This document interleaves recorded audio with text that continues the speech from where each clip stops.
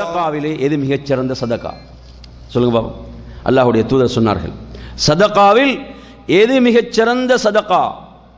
இந்த செய்தியை நீங்கள் புகாரியில் பார்க்கலாம். அல்லாஹுடைய தூதர் சல்லல்லா அலிஸ்லாம் அவர்கள் அதிலே என்ன சொல்கிறார்கள் என்று சொன்னால் அதாவது ஹைரு சதகத்தி மகான அல்லாஹரி ஹினன் என்று சொன்னார்கள். தேவைக்கு போக இருப்பதை சதக்கா செய்வது சதக்காவிலே மிகச் சிறந்தது என்று சொன்னாங்க. உங்களுக்கு உங்களோட தேவைக்குள்ளதை நீங்கள் எடுத்துக்கோங்க. தேவைக்கு போக உள்ளது என்ன செய்யுங்க? தேவைக்கு போக உள்ளதில் சதக்கா செய்வது சிறந்த சதக்கா என்று அல்லாஹ்வுடைய தூதர் ஸல்லல்லாஹு அலைவசல்லம் அவர்கள் சொன்னார்கள். அதே போன்ற நறுமையான சகோதரர்களே சதக்காவை எங்கிருந்து ஆரம்பிக்க சொன்னாங்க? உங்களுடைய வீட்டிலிருந்து உங்களுடைய குடும்பத்திலிருந்து ஆரம்பிங்கள் என்று சொன்னார்கள். ரசூல்லாங்க வந்து சிறந்த கையாக எதை சொன்னாங்க? சிறந்த கை.